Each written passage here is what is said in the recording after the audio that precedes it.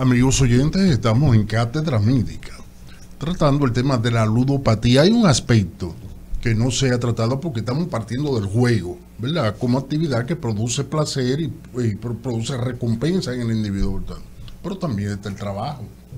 El trabajo visto como elemento de adición, como la persona que en vez de buscar placer, o sea, jugando, busca placer trabajando, no como actividad económico-social, sino como actividad para escapar de una realidad.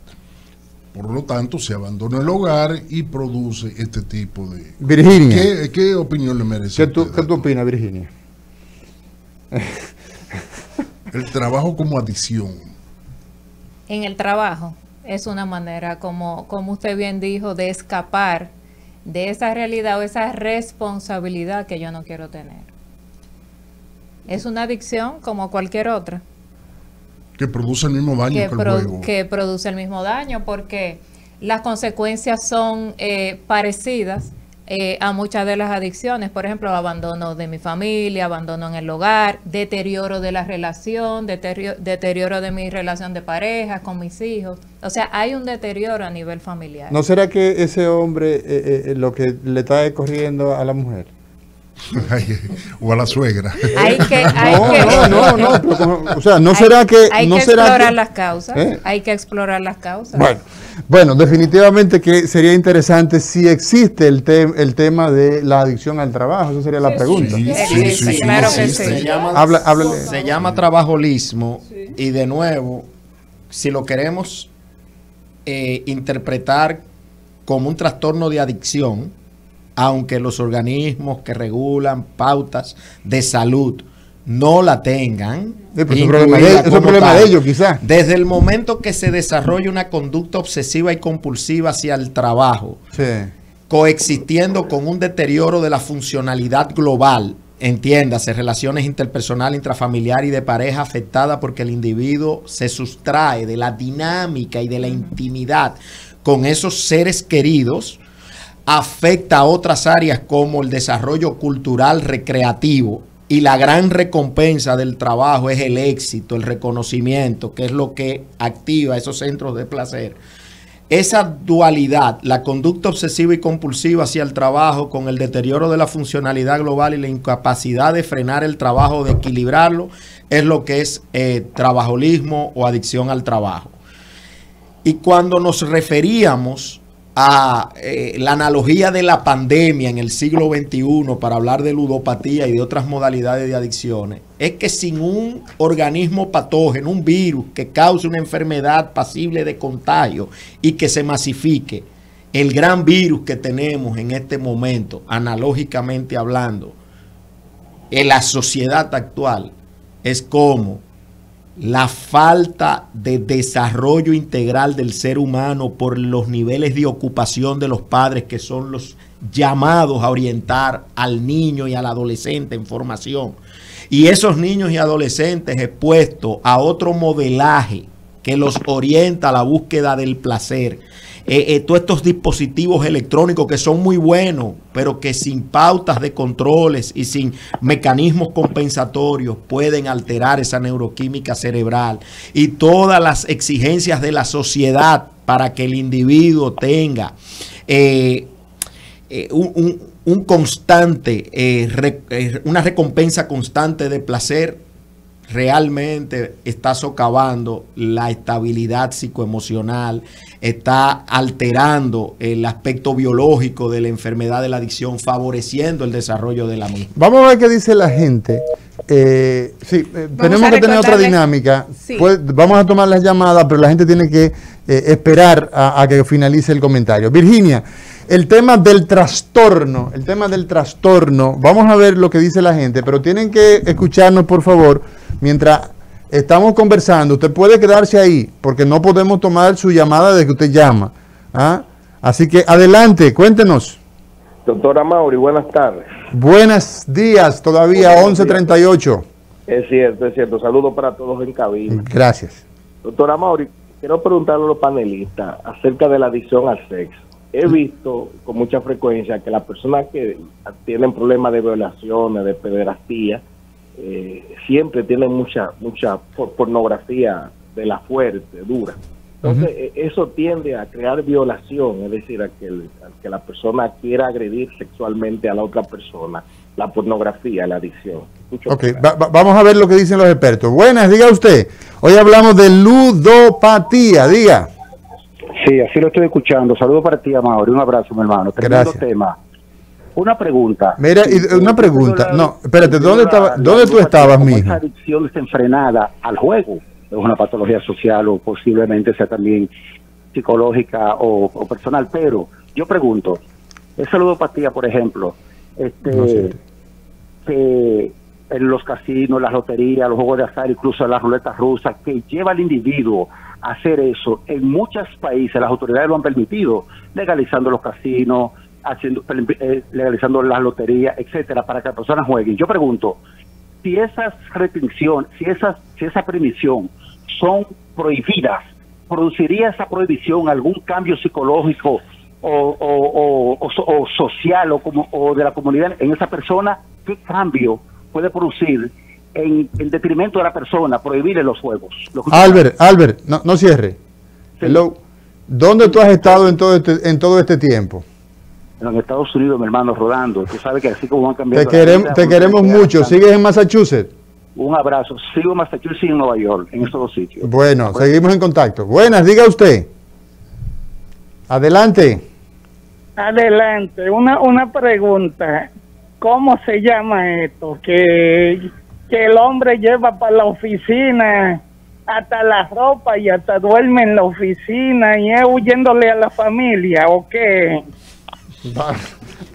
Bueno, bueno, Vicente, vamos a ver. Virginia, Marcia Castillo, hoy tenemos un panel de, de expertos hablando de la ludopatía. Vamos a ver cuál es la, la primera interrogante, Elisani. Bien, el primer oyente que llamaba hablaba sobre la adicción al sexo.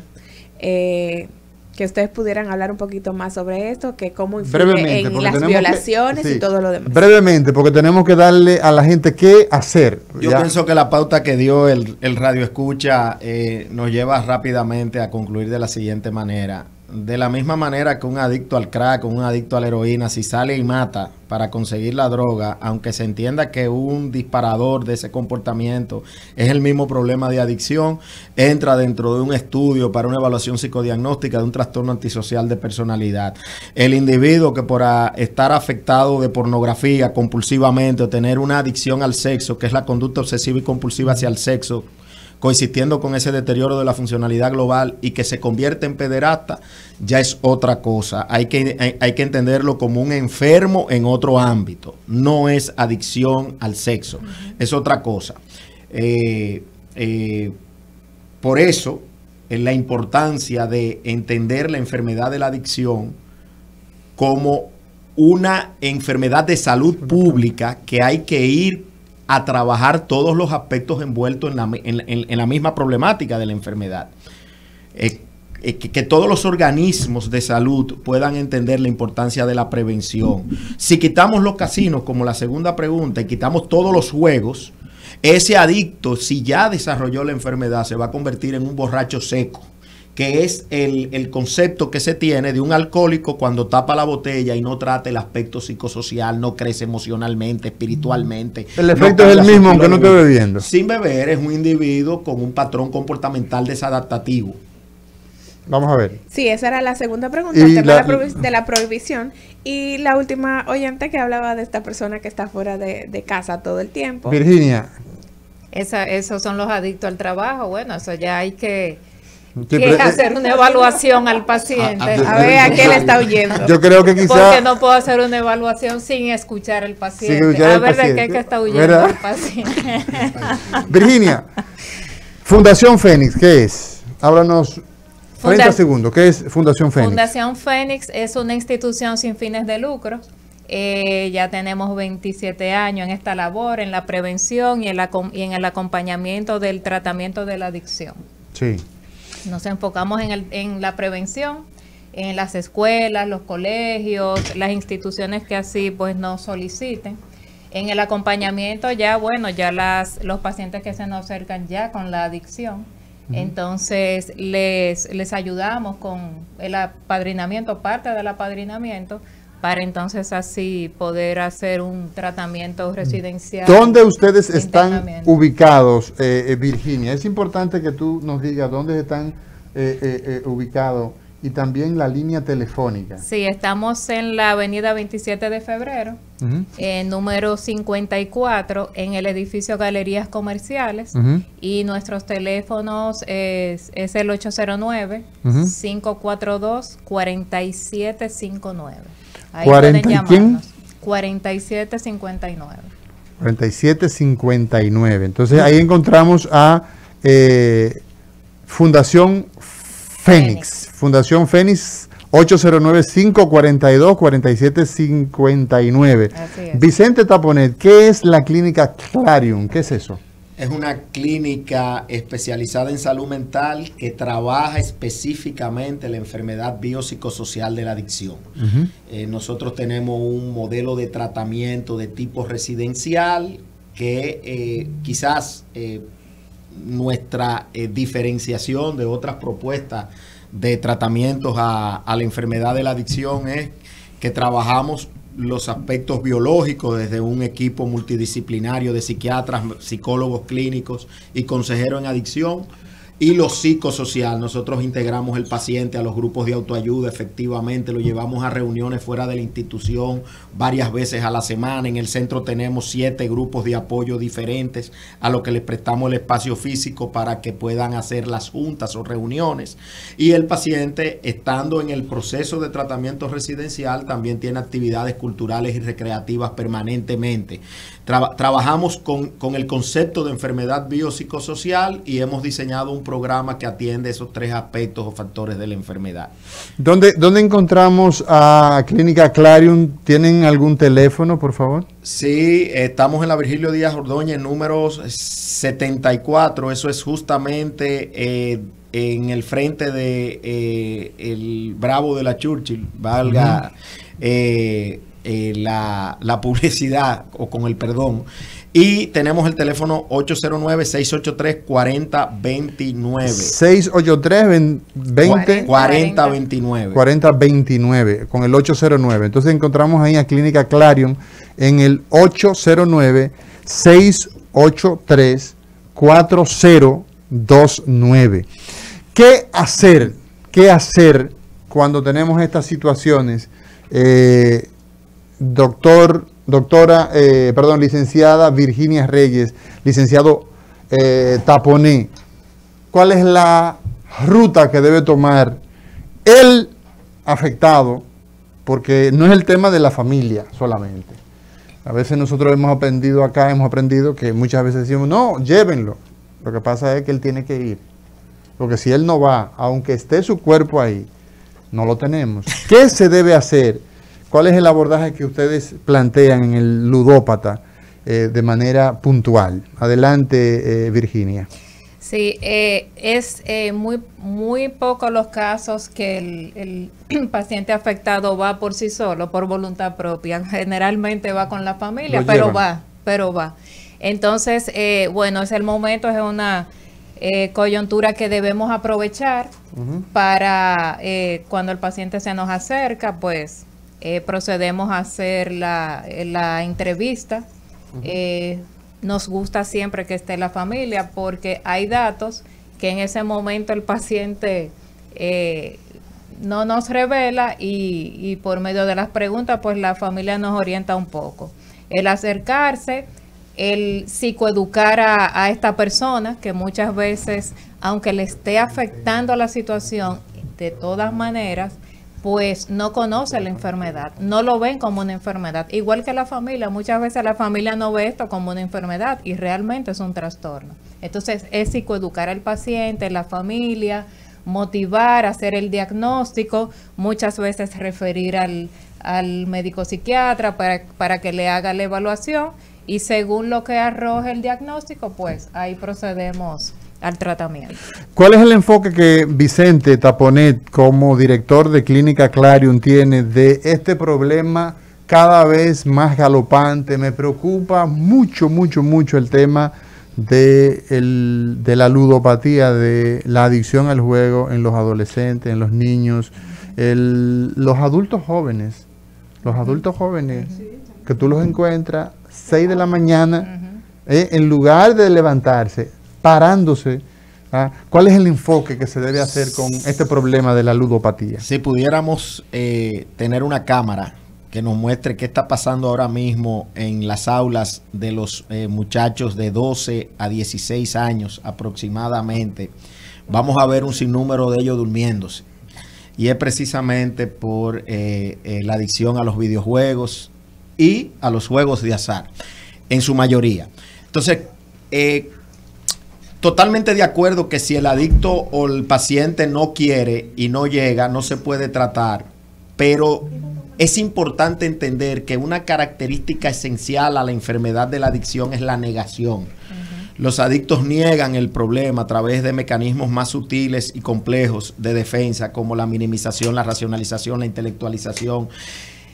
Y cuando la alerta se genera en el sistema, en la familia, en el núcleo primario, entonces la recomendación es no esperar a que el eh, que está padeciendo del comportamiento eh, tóxico, disfuncional, adictivo, acepte la ayuda, que los familiares busquen ayuda porque a través de un proceso, una metodología psicoterapéutica llamada intervención, se pueden hacer grandes progresos en el, en el paciente y en los familiares. Y de manera muy específica, para concluir, hay que entender que detrás de cada adicto hay un sistema facilitador. Esa computadora de 3.500 dólares de ese adolescente, hay un sistema facilitador detrás, hay falta de límite, hay un nivel de complacencia, permisividad, que están alimentando la problemática. Cuando se educa a la familia y al adicto se le ponen límites, pasan cosas maravillosas para la atención de la problemática de la enfermedad y para la recuperación, que es algo bonito, porque no solamente se previene la conducta autodestructiva de la, de la enfermedad, de la adicción, sino que como el tratamiento implica crecimiento emocional y espiritual, los adictos recuperados se convierten en entes productivos de la sociedad y seres humanos maravillosos. Lamentablemente el pronóstico de la adicción es malo.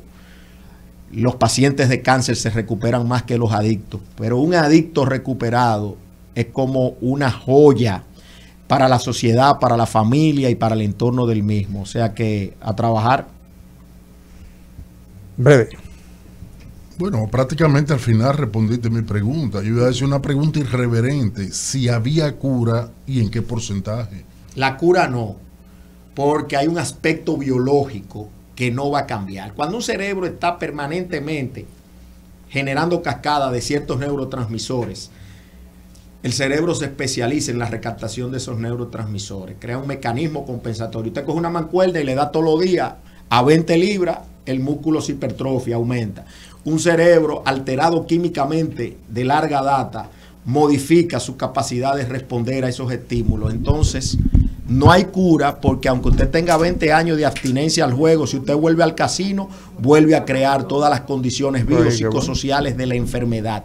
Pero en el aspecto psicosocial, ese cerebro estabilizado en su neuroquímica a través de la abstinencia al juego y de la inducción al crecimiento emocional y espiritual, crea un contexto de realidad en ese individuo pleno. El que se recupera de la enfermedad de la adicción, modalidad que sea, es una persona que vive sin ningún tipo de atadura, a excepción de la abstinencia del comportamiento adictivo o, que del uso de Tiene que mantenerse lejos de totalmente. y, vivir en recuperación. Es como la triple A. Desde el punto de vista farmacológico, del punto de vista farmacológico, la doctora ah, Marcia Castillo la cual encontramos en el Centro Médico Moderno en el 540 25 21 809 540 2541. La próxima semana probablemente la tendremos hablando de Parkinson, que es su pasión. Doctora.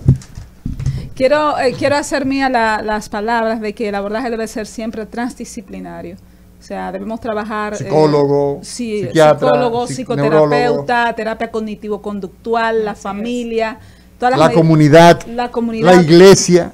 los clubes, todo o sea, todo el que está Todo lo que sea de soporte. Los remedios, los, los, los fármacos. que también la fe, la espiritualidad está dentro de ese, de ese, de ese dogma de lo que es biopsicosocial y ahora se habla de lo espiritual. O sistema de creencias, si no queremos decir espiritual.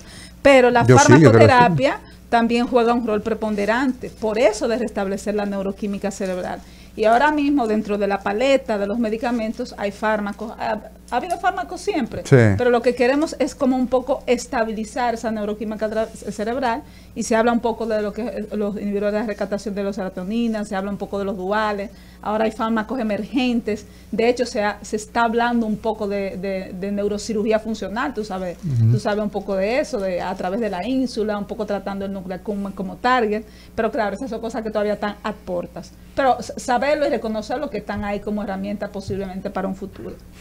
Esto definitivamente, agradecerles a ustedes, a Virginia Reyes de Fundación Fénix, recordarles 542-7759, a Vicente Taponé de Clínica Clarion en el 809-683-4029 y a la doctora Marcia Castillo que la encontramos en el Centro Médico Moderno 540 2521 a ustedes por la gentileza de su audiencia. Mañana será otro día en Cátedra Médica. Pueden seguir este programa en eh, queda colgado eh, en, nuestras redes sociales, tanto en Instagram como en YouTube, en el canal de YouTube. Ustedes van a encontrar este programa, es un programa para eh, pues escucharlo. Todo lo que se ha vertido acá no se pierde, puesto que las redes sociales nos permiten estar en contacto. Señor director, disponga usted.